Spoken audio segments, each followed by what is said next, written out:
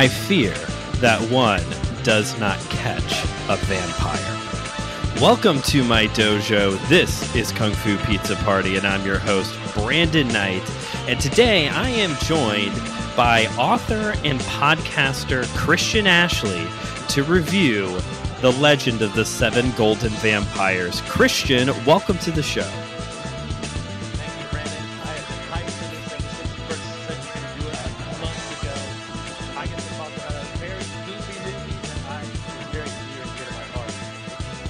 I am excited to poke your brain a little bit about that part because you are right, listeners. He's right. I told Christian about this show months ago. It may have even been the summer, like as I'm first starting to put this all together. And I was like, is that something you would be interested in? And immediately he said, yes. And I want to do this movie. And keep in mind, at that point in time, every, and I do mean every single Jackie Chan, Bruce Lee, Jet Li, Chuck Norris, Donnie Yen, Tony Jaa, Jean Claude Van Damme, even Steven Seagal movie was on the table. All the Karate Kids, Enter the Dragon, Drunken Master.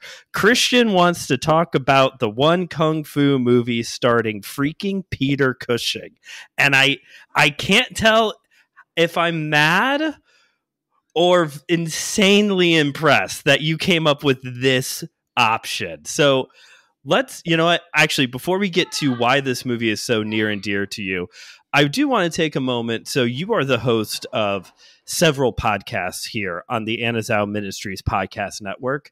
We give Josh a hard time for the amount of shows he has, but you you've got quite a few too. Tell our listeners a little bit about your show, why I don't like. Yeah, that one is a little bit on a hiatus right now with you know classes and everything. But it, the general premise is there are certain things out there that I've watched and I really don't like. Uh, I am currently going through different genres. I'm starting with anime, and I'm starting with Mushoku Tensei, which is an isekai story and has very terrible representation of women and has one of the worst main characters of all time in the story, who has very little growth throughout the series. So uh, I go through it systematically, uh, intentional pun there. We'll get to that later. Uh, just going through episode by episode, things I like, things I don't like, things how I think it can improve itself, and yeah, I I really like that concept, especially because here, another show that you are a host of, you're on Systematic Geekology, where the general premise of that podcast is everything's great and awesome. Everything it's like that it's like in the Lego movie. Everything is awesome. Like we Systematic Geekology is very pro everything. You're the counterbalance of well actually um actually not everything is perfect and great. But it sounds like this movie it sounds like this movie would not be an episode of why I don't like. Apparently you love this movie. Tell us tell us why, Christian. not for the right reasons. Not because it's a good movie. Uh, I like this because of the crossover we get here and this insane idea of hammer horror, which is something that I really love watching. You know, your Draculas, your Frankensteins, so on and so forth, and all the other films that they did. Uh, just building off of the Universal monsters and doing their own spin on things. And then you have Peter Cushing, who's been Van Helsing for like 20 plus times in these films, going into China to fight vampires there with a bunch of martial artists and Dracula. Like, wh- what is there not to love about that stupid premise? This movie is indeed the uh this is like the ideal late night Saturday night horror movie or like a drive-in movie kind of uh scenario because you're right this is just an insane premise Van Helsing Peter Cushing who always looks old I have yet to see him in a movie where he actually looks young he's always ancient um Yes. going up against going up against vampires kind of a variation of the Jiangshi. We'll get into that later on. We talked about that a couple episodes ago. But uh hmm th- I guess this segues well into our producer Cooper's here as well, listeners. I guess this segues well into our martial art cinema history lesson for the episode. Because uh, as Christian alluded to earlier, this is a joint production between Hammer Films and the Shaw Brothers. Hammer was the British alternative to Universal by way of horror movies. And the Shaw Brothers, of course, were one of the two biggest movie producers in Hong Kong putting out martial art or putting out kung fu movies right alongside Golden Harvest. Which I got to give it to Hammer if you're going to make a movie that is going to be very heavily martial art and Asian, good for them not to phone it in and have a lot of misrepresentation, but to actually bring in people who could represent the genre well. Yes. Uh, this is a completely and utterly bonkers movie in the idea of how the heck this works out. You have two things that you would never expect to cross over, and yet it doesn't really work together that well at times, but it's just what you're watching, just accept it. Just turn your brain off and enjoy. And I very rarely say that about films because I'm typically more more snobby and like you know there's got to be a purpose behind stuff that I'm watching. But for this one, uh, it it just gets me. I like to see uh, Peter Cushing trying to murder vampires, and I like to see people use martial arts and beat each other up. Like uh, that's all I need. I don't need Citizen Kane in this form. I just need what is happening on this screen. And the the plot of this movie I wish was as simple as that. It's a little weird. The movie opens with an Asian man coming to Dracula to resurrect the seven golden vampires. And Dracula says, You know what?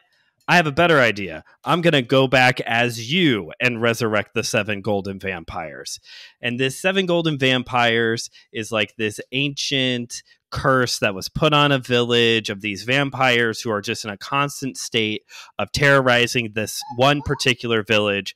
By the way, the village killed one of the vampires originally. So even though the movie is called Legend of the Seven Golden Vampires, there's only six. I guess six doesn't sound as as threatening as seven. Um, in the meantime, Peter Cushing, playing our hero, uh, Van Helsing, is in a region of China doing research on vampires. And w- wouldn't you know, he's at this university giving a lecture and one of the people who's from that village is there to get him to come take down the seven golden vampires and ultimately find out that dracula is still there which leads us to a big a big showdown between van helsing and dracula christian are there any other uh, highlights you want to give us from this film from your memory yeah, we've got our our ragtag team of martial artists. Is it six brothers and a sister, or something like that? I, it's it's been a while since I watched the movie. I did not have time to prep for this one with classes and everything. But just like their interactions with Van Helsing are, are I don't know how to put that in the words. Interesting, should I put it? Interesting works. I believe it's seven brothers and a sister because that's a typical trope you see in these uh, movies. So I think it's seven brothers and a sister. I don't know why it's always that, but go on. Yeah, and uh, just their whole thing with the actually fighting uh, the six, not seven vampires in question. And unfortunately, uh, is it the sister who ends up becoming a vampire after she gets bitten? Yeah, I think in the end, it's just about everybody gets turned into a yes. vampire in the end. Um, the sister has a very dramatic scene. Yeah, it is. It, I was very like, oh my gosh, this is we're going all in here. It reminded me of yeah. the end fight scene in Army of Darkness when they're fighting all the deadites in the uh, in the medieval place. It's just like it's just carnage everywhere. Absolute. And I mean, at the very end, like Dracula is killed again for the last time, again by Peter Cushing Van Helsing. And actually, for good, because I'm pretty sure this is what kind of killed Hammer Horror to an extent, at least on the Dracula side of things, uh, due to many factors, including a bad box office and the fact that at this point in time, Peter Cushing was reeling from the death of his wife. He was trying to like go on a vacation somewhere and film and try and get his mind off of things, and that caused some friction with people. And of course, you know, the Shaw brothers didn't like how the Hammer horror people were doing things. They didn't like how they did things. It's a huge, giant mess, and somehow we got a movie from it. A movie that is, by the way, listeners, incredibly accessible. I found this movie on YouTube for free. It's there. Uh, so I will definitely throw a link in the description of this episode for you all to go check it out. Um, but yeah, it was a, my understanding, again, kind of going back to our cinema history lesson, my understanding is this movie is like 90% Hammer, and then the Shaw brothers did the the Shaw brothers did like the martial arts sequences essentially. But still even at that they the the British actors didn't like the Asian actors, the Asian actors didn't like the British actors and it's just yeah, apparently it was a hot mess behind the scenes, but you get a pretty decent movie out of it. Like you said, it's not Citizen Kane, nor did I expect that. like, you got to know what you're getting yourself into based off of that name. But it's watchable.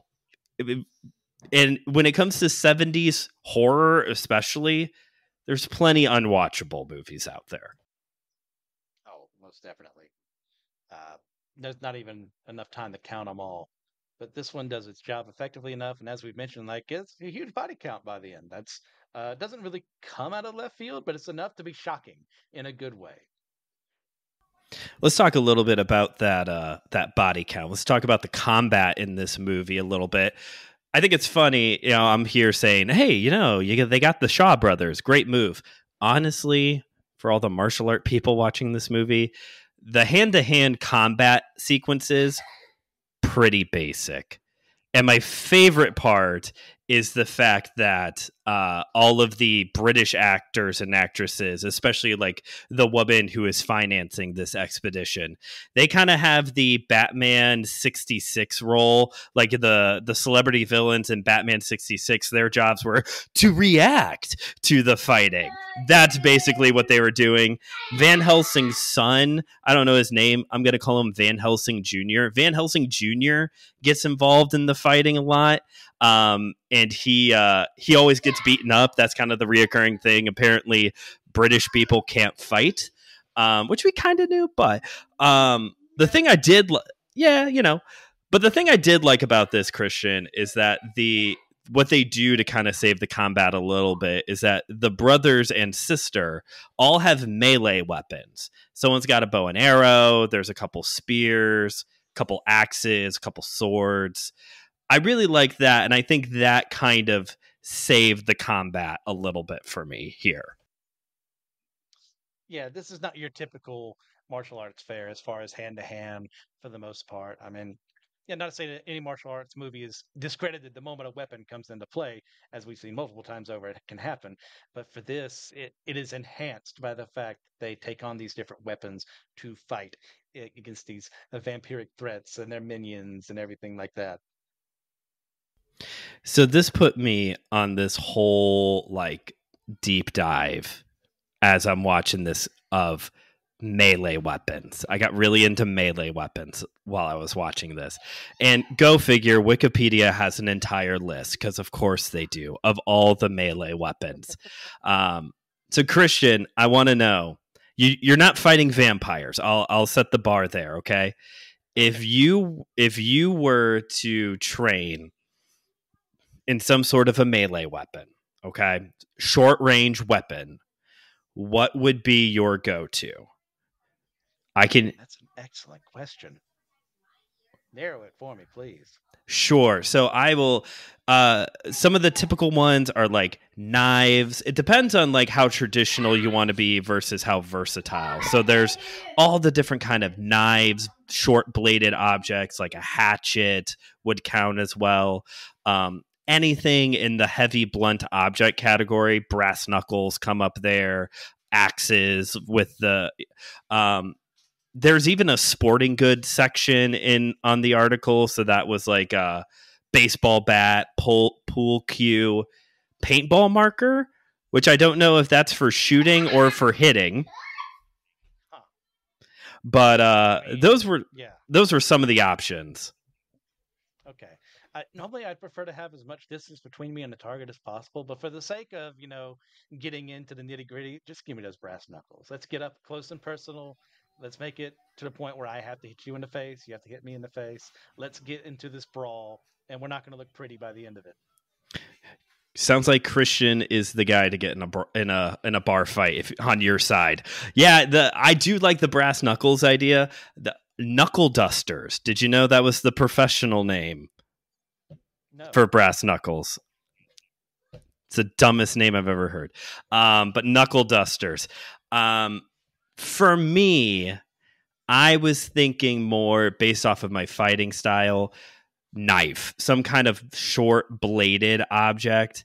I'm not going to spend forever trying to decide what kind of a knife I would want to use, but probably some kind of like, you know, maybe a switchblade. Switchblades are cool. Or a hatchet. I've got some trees in my backyard now, and I may have started just throwing my hatchet when I should be doing yard work. Um, but uh, Mountain Man Brandon taking down the trees. well, you know, everybody loves Braveheart, but I love The Patriot. The very first time Mel Gibson throws that tomahawk, I'm like, yep, sign me up. I don't know what I need to learn, but sign me up for that one. I watched that movie too young.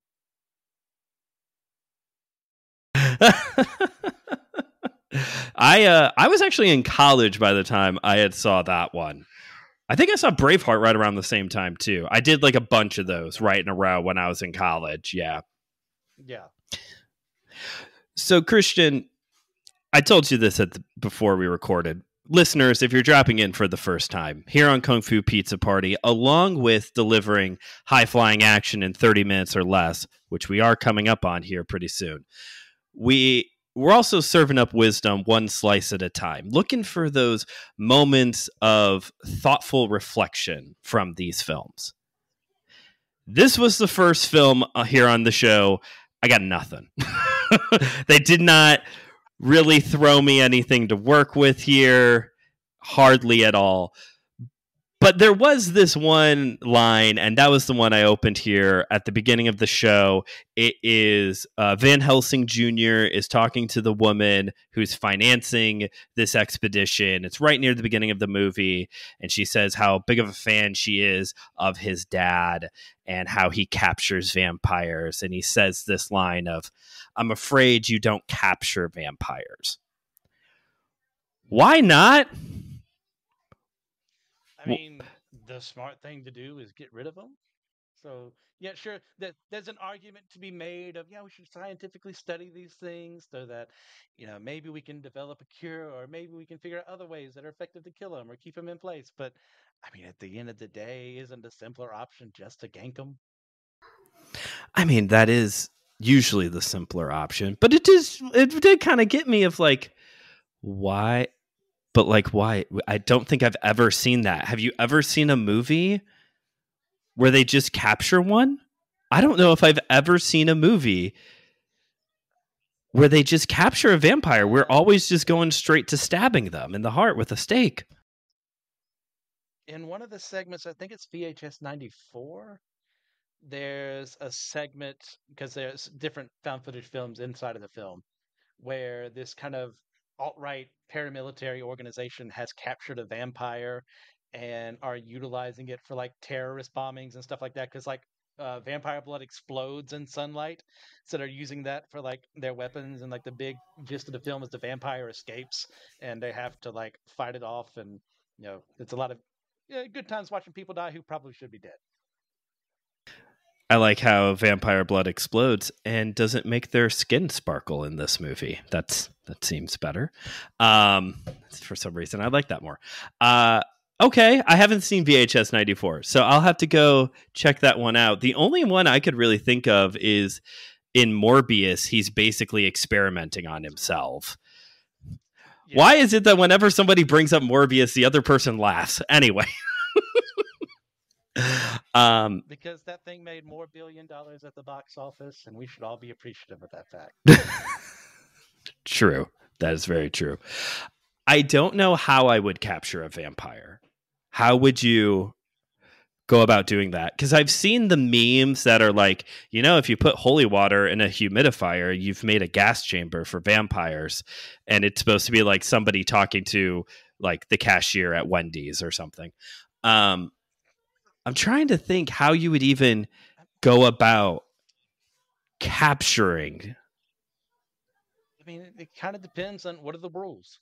I mean, what are they weak against in this film? Are they actually weak against garlic, or like every other film in the modern era, say, "Oh, that's just a myth"? Or are they weak against silver, or is that just werewolves? You know, uh, are holy symbols effective? Which holy symbols are effective? Do you have to have faith in those things to actually make them effective? So, assuming one of those things is working, I mean, I guess I'd use someone as bait and get them into like a silver cage or something that has an exit for the person who's being used as bait, but the vampire themselves can't get out. Or maybe it's covered in garlic or holy symbols or what have you, something that makes it where they can't get out. And that's for the best, but we can keep them in there and study. I'm trying to come up with the the contrived way that you would keep, you know, is it just simply the fact that the vamp, you know, in some cases, a vampire cannot enter a space unless they are invited. So, do you make it look like a like an a room, like on the outside? Uh, you know, like you can go out this door, but they can't go out because you haven't invited them out. That would be so simple of a way to trap a vampire. I like the silver cage, though. That's a good idea. I mean, once again, I guess it depends on how the rules work. Like, uh, are invitations something that work in this reality? Is uh, it's a threshold, a part of the magic system of this world where you have to ask to get in, or is it one of those things where you lose power if you don't, but you can step over it? Who knows? I, I guess if we're making this system, we have to figure that out. So I don't know. What do you think? I would, I would. The other factor to take into consideration is the fact that we have in this movie we have kind of a variation of Jiangshi, so hopping vampires from Chinese folklore. Um, the the Jiangshi in this movie are kind of like the movie itself 90% western 10% authentic um because they do hop and then the rest is just a normal vampire. I do think they do suck chi energy though. I don't think it's blood. Um I don't know because that's what Jiangshi are better at doing because they're not yes. blood suckers. Correct.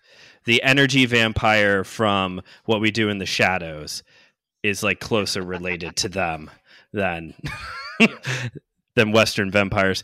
I don't know if the threshold thing. I don't know if that is part of their lore though.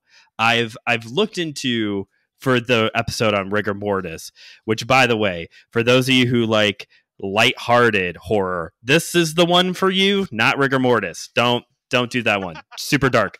Um but when I was researching them for rigor mortis, I don't remember seeing anything about being you know you have to give you have to ask permission to eh, pass through a threshold or silver. I don't remember anything about silver either. No. Yeah. Uh, they don't really have like typical vampire weaknesses of course you know being you know not western in origin. So there's going to be differences in the folklore. Uh, but Jiangshi aren't exactly my uh, forte, so I don't know. They uh, I do remember it's Taoist symbolism is the thing that weakens okay. them, not uh not Christian symbols, which Peter Cushing does mention in this movie. I think he may say Buddhist symbols. I can't remember exactly, but they're not trying to hold up a crucifix. That I do remember. Um, and according to rigor mortis, it ballpark, right?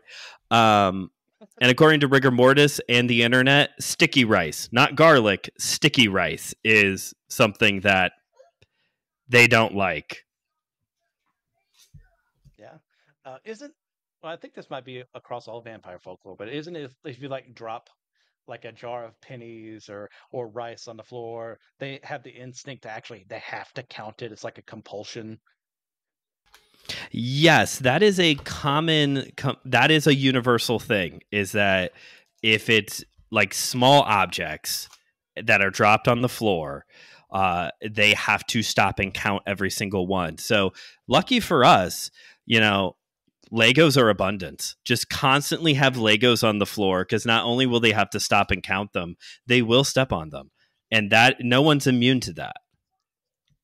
Now we've got a perfect way to capture them. We have our little Scooby Doo trap right above them, and we drop a jar of you know quarters or what have you, pennies on the ground, and while they're counting them, the the trap falls right on top of them, and we've got them. There we go. We did it. We figured it out, folks. It's foolproof. Mirrors too with uh, the Jiangshi mirrors. It's it's not like in the West where they can't see the reflection. They're actually like terrified of their reflection, if I remember right. So you could have some mirrors involved in the trap too to kind of keep them like paralyzed and in a certain area so you can watch, experiment, whatever whatever evil thing we're trying to do. Yeah. Okay. So Christian, as we all right, we got it. We got it. We have, yo, maybe Christian and I should do a whole episode talking about martial art horror movies. Maybe we should run it back sometime and do that one. Christian, before we wrap this episode up, because our, our time is quickly running down here, any final thoughts? Any final, oh, you know what? I know what you got to tell me. Here on Kung Fu Pizza Party, we don't we don't do reviews like other shows. Yeah, I don't five star ratings, one to ten too arbitrary. And I hate one to 10. It's too many numbers. That's for chumps. That's for rotten tomatoes. so, two questions. Would you watch this again? And would you buy a physical media copy of this movie? Keeping in mind that there are original VHS tapes on Amazon going for about $70. I'm not kidding. Yeah. Uh, absolutely yes and absolutely yes. This would make my complexion. Uh, uh, gosh, I was trying to think of the Little Mermaid quote, and I collection complete. And yeah, I'd love it. I would definitely watch. Yeah. yeah, I would definitely watch this one again. This was a lot of fun. Uh, kind of a good, uh, just like spooky season movie. Really, for the most part, outside of the uh, unnecessary topless women because it's a movie from the 70s. Um, it would be a pretty good movie to watch with the family because even the violence isn't that bad, uh, like gore level wise. You just have to fast forward a few sequences for the for the young eyes. Um, but definitely would watch this again. And you know what? If I came across it in the wild for a couple bucks at like a like a resale shop, like a Goodwill or something, I'm definitely snagging it my collection as well. All right, Christian, this has been uh, a lot of fun hanging out with you and talking about this wacky movie that we just made so much wackier trying to capture one of these things now. Um, listeners, if you want to check out why I don't like, I will throw a link to the show in the description of this episode, along with the link to The Legend of the Seven Golden Vampires for you all to check out. But until next time, thank you all for listening. We'll see you back here uh, next week for another episode. This has been Kung Fu Pizza Party, where we've been delivering high flying action in 30 minutes or less and serving up wisdom one slice at a time.